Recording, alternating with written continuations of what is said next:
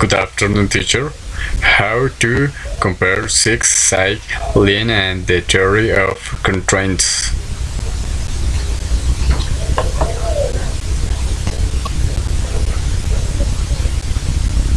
Six Sigma theory, produce variation, application guideline. 1. Define 2. Measure 3. Analyze 4. Improve 5. Control Focus Problem focus it. Lean thinking Theory Remove waste Application guideline Identify value Identify value stream Flow Pull Perfection Focus Flow Focused Theory of constraints. Theory. Manage constraints. Application. Guidelines. Identify constraints.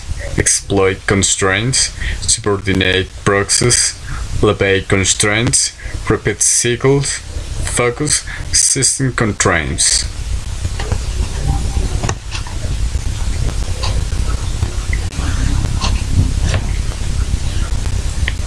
Similar and difference between the improvement program. Program, theory, application guideline, focus. Six Sigma, reduce variation, 1. Define, 2. Measure, 3. Analyze, 4. Improve, 5. Control, problem focused, lean thinking, remove waste, 1 identify value 2 identify value stream 3 flow 4 pull 5 perfection problem focused theory of constraints manage constraints. 1 identify constraints. 2 exploit constraints. 3 subordinate process. 4 elevate constraints 5. Repeat cycle system constraint. They don't um, address policies, either formal or informal.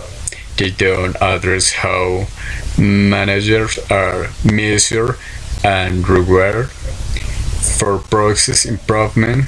They don't address the general theory of management used by organization they don't address the organization's blues.